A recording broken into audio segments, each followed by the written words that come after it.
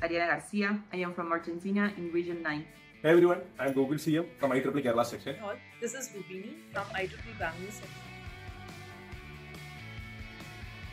Hi, this is Mahak Azim from Pakistan, IEEE Region 10. Hello everyone, my name is Sibel Khanem and I am an IEEE member from Region 8 from IEEE Lebanon section. Hey everyone, this is Prakhar Lohia.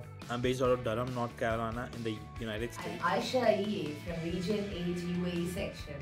Hey there, I'm Joel Thompson, Yemen section in Region 9.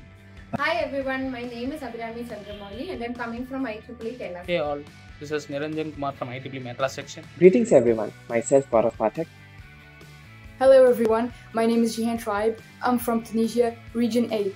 Me Shomadip Das the, from Kolkata section. Hey guys, I'm Vishnupriya Ji from Region 10. Hi to everyone, my name is Marcela Sabogal from Region 9. This experience has been really inspiring since I got the opportunity to meet volunteers from all over the world that are really passionate about what they do. For me, IEEE Computer Society feels like my professional home.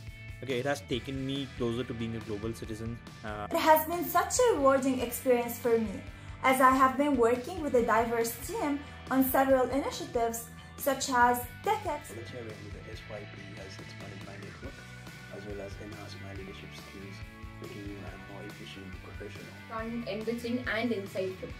It has been an amazing uh, journey being, you know, connected with a working with a global team. And it has been a journey of impactful learning and meaningful contributions. I have had the opportunity and the chances to connect with a lot of eminent personalities and a lot of vibrant volunteers across the globe by being part of this team. Volunteering with IEEE Computer Society has significantly enhanced my professional growth. But from being an introvert to just uh, representing uh, in uh, more than 25 plus stages.